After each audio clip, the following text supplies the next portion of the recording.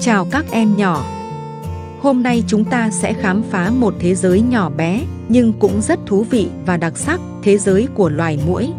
Con muỗi có thể là một trong những sinh vật nhỏ bé nhưng có ảnh hưởng lớn đối với cuộc sống hàng ngày của chúng ta.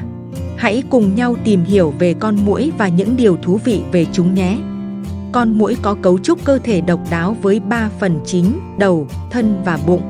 Đầu của chúng thường có một đôi cánh mảnh, đôi mắt lớn và chân dài. Muỗi sinh trưởng chủ yếu trong các đầm lầy, ao hồ hoặc các vũng nước đọng, các vùng ẩm ướt. Chúng đẻ trứng xuống nước, trứng nở thành ấu trùng gọi là bọ gậy hay lăng quăng. Bọ gậy sống trong nước một thời gian, sau phát triển thành nhộng, rồi biến thành muỗi trưởng thành, bay lên khỏi mặt nước. Một con muỗi cái đến mùa sinh sản đẻ khoảng 100 cho tới 200 trứng mỗi lần đẻ.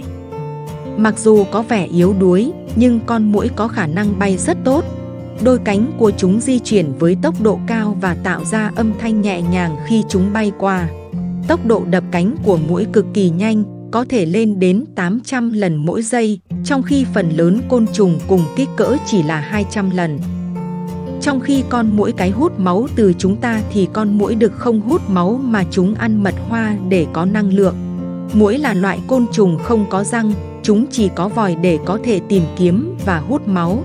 Muỗi có hai vòi, một vòi để hút máu và vòi còn lại để tiết ra nước bọt nhằm gây tê vật chủ khi hút máu. Con muỗi là loài ăn tham, chúng có thể hút lượng máu lớn gấp 3 lần so với trọng lượng cơ thể của mình. Con muỗi có khả năng cảm nhận mùi và hương vị rất tốt.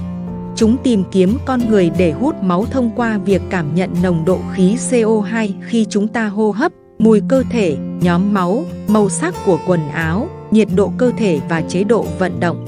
Loài muỗi đặc biệt rất bị thu hút bởi một cơ thể đẫm mồ hôi. Mặc dù con muỗi là nguyên nhân gây ra các căn bệnh chết người như sốt rét, sốt xuất huyết, sốt vàng da và viêm não, nhưng chúng cũng là nguồn thức ăn cho nhiều loài động vật khác nhau trong tự nhiên. Để giảm thiểu sự xuất hiện của muỗi, chúng ta có thể sử dụng các phương pháp như dùng kem chống muỗi, mặc áo dài tay hoặc sử dụng máy đuổi muỗi. Tuy con muỗi có thể là nguồn gây phiền toái nhất trong mùa hè, nhưng chúng cũng là một phần quan trọng của chuỗi thức ăn và sinh quyền. Hy vọng rằng qua chuyến phiêu lưu này, các em đã hiểu thêm về con muỗi và nhận ra sự quan trọng của chúng trong tự nhiên. Chúc các em vui vẻ và an toàn. Hẹn gặp lại!